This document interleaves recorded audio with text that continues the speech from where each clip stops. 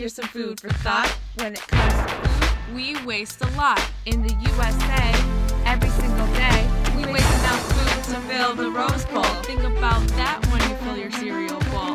It's not just our food that we throw away, it's energy too, that's what the experts say. Hey Kim, did you know that almost 16% of our energy usage is food related?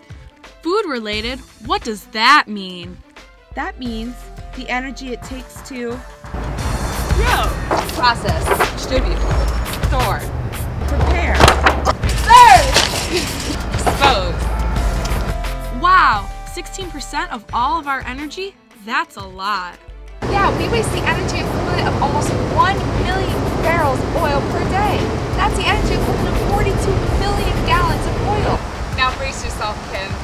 That's like me wasting a gallon of oil 42 million times in one day!